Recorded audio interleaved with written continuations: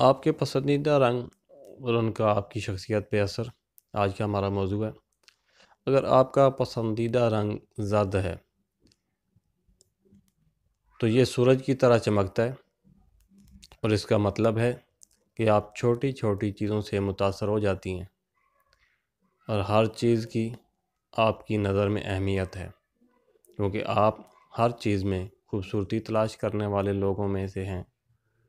आप ये बात समझती हैं कि किसी की तारीफ़ करना ज़्यादा बेहतर है, बजाय इस पर तनकीद करने के।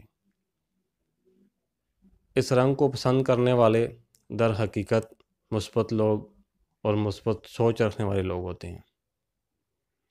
मज़ीद मालूमती वीडियो के लिए चैनल को सब्सक्राइब करें। मिलते हैं नेक्स्ट वीडियो में, तब तक के अल्लाह